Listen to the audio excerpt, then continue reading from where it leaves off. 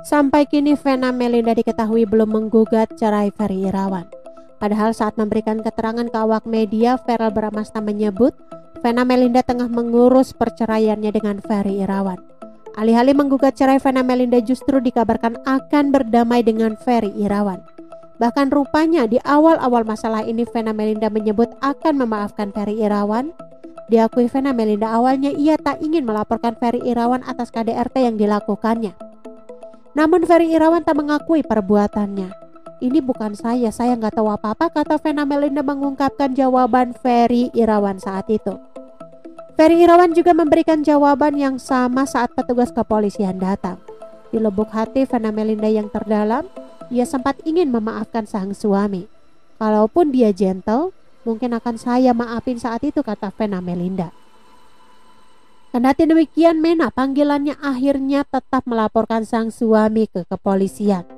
Kini beredar kabar Vena Melinda akan kembali rujuk dengan Ferry Irawan. Kabar tersebut muncul dari acara status selebritis yang tayang di YouTube SCTP pada Kamis. Muncul sebuah kabar mengejutkan. Vena Melinda ingin berdamai dan menemui Ferry Irawan di penjara Jawa Timur. Bunyi narasi dalam video tersebut. Menurut tayangan tersebut, Vena Melinda kini tengah rindu berat kepada sang suami Kabar rencana Vena Melinda ke Surabaya untuk bertemu Ferry Irawan bukan isapan jempol belaka. Dilansir dari sripoku.com, salah satu motifnya diam-diam Vena masih merindukan sosok suami yang baru 10 bulan menikahinya tersebut. Lanjut narasi video tersebut. Disebutkan pula video permintaan marap dari Ferry Irawan yang membuat sang istri kembali luluh. Usai tayangan tersebut membuat heboh kini kembali muncul isu batal menceraikan Ferry Irawan.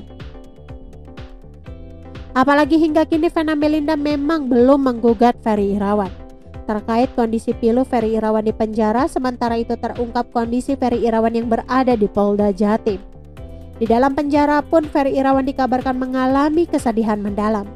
Bahkan beberapa hari setelah masuk penjara, Ferry Irawan sempat meminta ingin keluar lantaran penyakit yang dideritanya. Penyakit Ferry Irawan yang kini ganggu saraf di otak belakangan disebut-sebut bisa kambuh manakala ia mengalami stres berlebihan. Kini kondisi Ferry Irawan lantas diungkapkan oleh kuasa hukumnya. Selain itu rupanya Ferry Irawan juga merengek ingin bertemu Vena Melinda. Beruntungnya permintaan Vena Melinda, kabar Ferry Irawan bertemu Vena akan segera dikabulkan oleh pihak Jawa